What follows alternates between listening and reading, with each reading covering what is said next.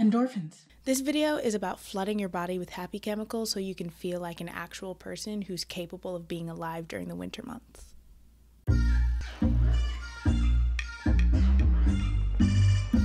Welcome and welcome back to the channel. It's me, Athena, your local anti winter enthusiast.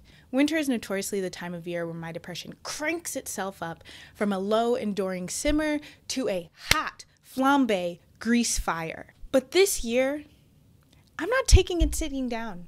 Mm-mm. Today, I'm going to share three behavioral shifts I'm making so I can survive this awful, terrible season and how you can create your own survival kit that's unique to your needs. Let's get into the video. There are four hormone bundles slash neurotransmitters that contribute to what we consider happiness, the feeling of happiness. Those four are the dose chemicals, or dopamine, oxytocin, serotonin, and endorphins. I wrote an article outlining easy, no effort ways that you can increase the flow of these in your body. Uh, I'll leave that in the description below. But here's a quick overview dopamine regulates anticipation and reward. Think of how opening a present can sometimes be more exciting than whatever the actual present is. Oxytocin is known as the connection hormone. Think cuddles and hugs and eye contact. Serotonin is the mood regulator, and 80% of it is produced in your gut. More on that later. And then endorphins mask pain and discomfort. So,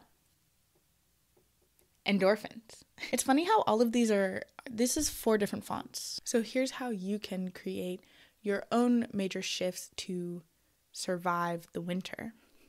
First off, check out the article in the description, slash, look into the dose chemicals on your own time. Actually, if you want me to do a more in depth description and explanation of the dose chemicals, let me know below.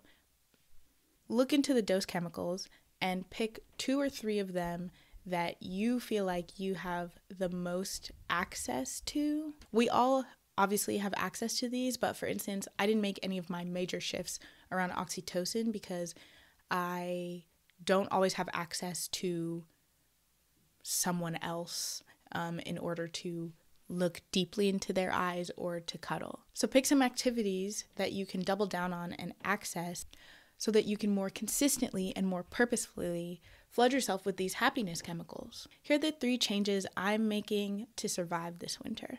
I'm exercising at least every other day. Oh, hold on. Listen, listen. Wait a second. I never wanted to be that guy who came in here on these internet streets and said, the best way to solve depression is to exercise more. Mm, that's not what I'm saying.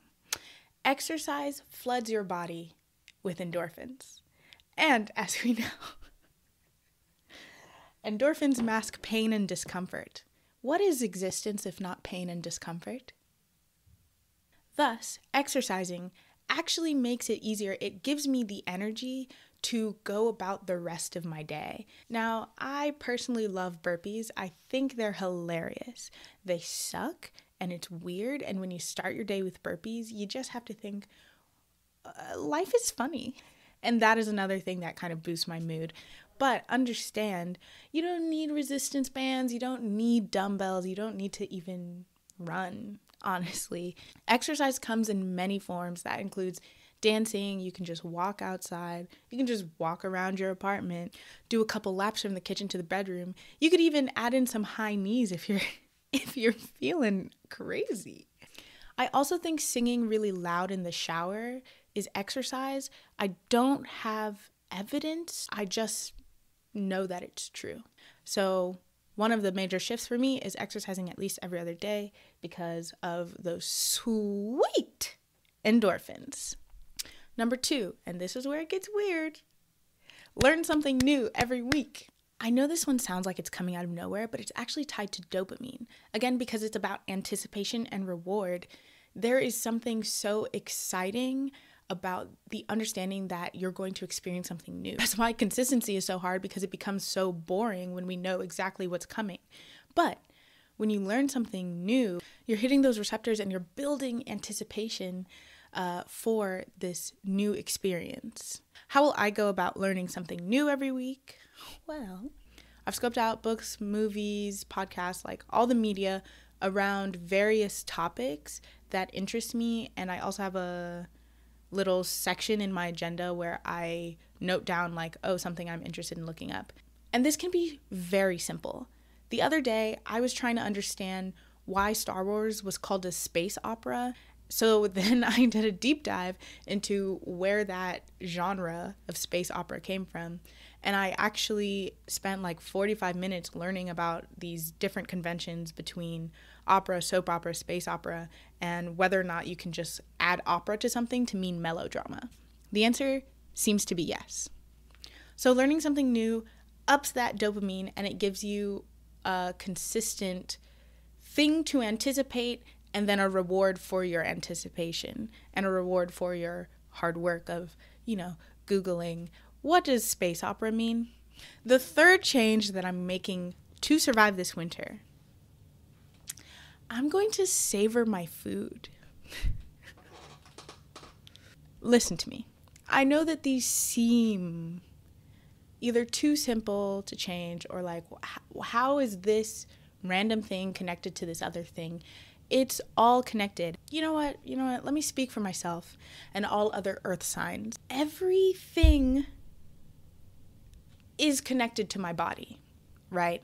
Every mood, every experience, every whatever is deeply impacted by my actual physical body. And so that's why I know that these things, even as they look weird or they sound unrelated or not actually helpful, these tiny things that I have access to every single day are actually going to make this winter survivable, are actually going to do what therapy couldn't, honestly. So, earlier I mentioned that 80% of serotonin in the body is produced and housed in the digestive tract. So, guess what? Hangry people, look at you. You're not actually an. It's just chemistry. Run. Tell the world. Being hangry is actually scientifically proven. So, serotonin, again, regulates your emotion. Full stop. It regulates your emotion.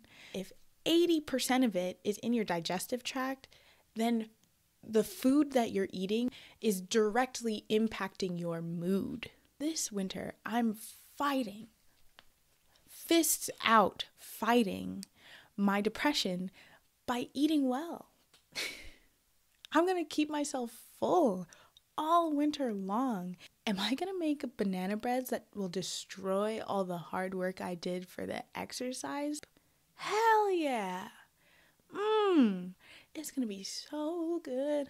I'm gonna pretend like I am at a perpetual wine tasting. I'm gonna pretend like I'm Keanu Reeves in that movie where he's eating a goat as he listens to its life story. So I'm doubling down on my love to eat. I'm going to stop multitasking while I eat. So, no more uh, watching TV or being on my phone while I'm eating. I'm gonna like sit there and really savor every morsel of food.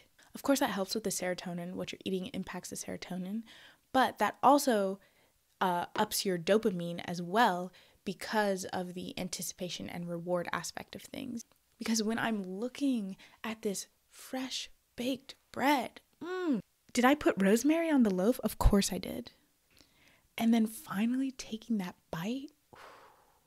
So I'm about to have an excellent time and I'm going to keep myself full. And that's going to help my serotonin as well as my dopamine.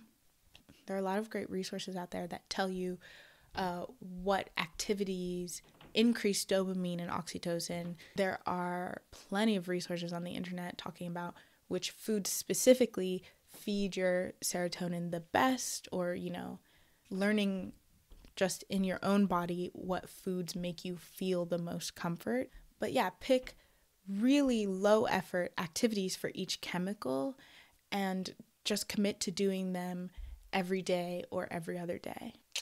That's it. Thank you for watching. You look hot. Subscribe to my channel. Goodbye. You can remember the four dose chemicals with this fun song dopamine, serotonin, oxytocin, endorphins.